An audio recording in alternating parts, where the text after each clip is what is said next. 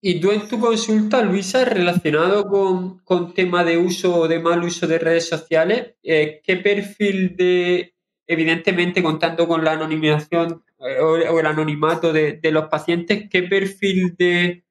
de pacientes tienes? ¿Perfil del paciente que las redes sociales quizás le ayudan a un poco evadirse de su problema e intentar tirar para adelante o el perfil del o tienen más pacientes del perfil de que el mal uso de las redes sociales en su entorno le han dañado? Mm, yo normalmente veo, veo, yo veo bastantes niños y adolescentes, también veo adultos y veo en ocasiones parejas o hago sesiones de terapia familiar, ¿no? Eh, y es curioso, por ejemplo, cuando estoy trabajando con un adolescente e invitamos a la familia a alguna sesión, un tema importante mm, dentro de las sesiones recurrente en casi todos los casos que trato es el tema del móvil, de cómo están utilizando el móvil y los videojuegos, eh,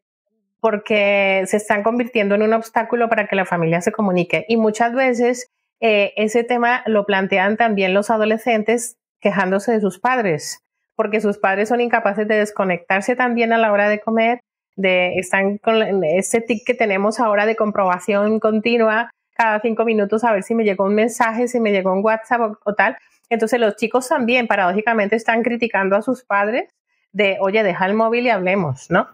Entonces sí que es un tema recurrente.